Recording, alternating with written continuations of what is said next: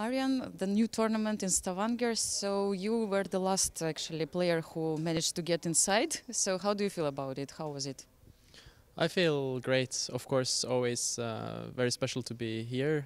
Um, for me, I mean, it's like uh, the best tournament you can play. Uh, although um, the organizer called me like three days before the start, I had some other plans. I was actually going to St. Louis on Monday to play a tournament, and I had uh, ready everything. But uh, obviously, when you get the invitation here, you cannot say no. I mean, it's uh, I I accepted pretty fast, and very happy to be back. Yeah, it's also your hometown, right? So do you feel the support of the local play of the local uh, locals?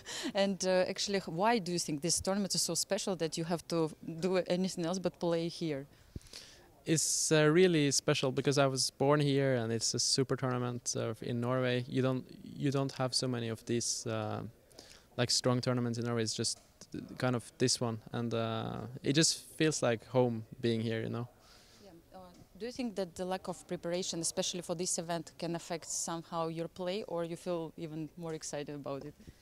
Um, I think you can always do some more preparation. Uh, I mean, obviously, three days wasn't optimal, but uh, I think the most important is just to feel good and have energy.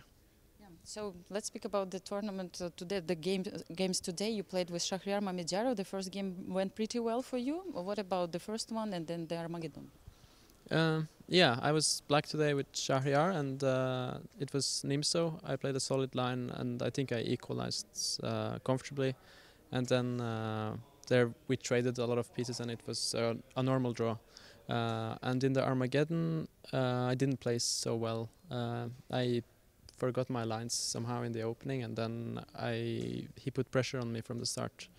Um, so yeah, it became un unpleasant there. But um, I care more about the main game. I mean, of course, uh, you you do your best in Armageddon, but it is what it is yesterday actually you managed to beat him. I mean, did, did you feel more confident playing against Shahryar today? Yeah, actually, I think yesterday the, the game I won against him was my best game in the Blitz tournament. I really liked this move, Rook A4.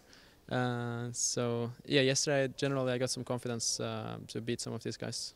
Yeah. So what are your expectations in this event in general? Um, in general, in, I think in general when you play a tournament you want to do better than your rating. Uh, I mean, if you gain rating, you um, that's that should be the goal, and to maybe win some games. Um, just going to try to play um, good chess. Yeah, that's a great idea. Thank you very much, Aryan. And all the best of luck in the next rounds. Thanks a lot. Thank you.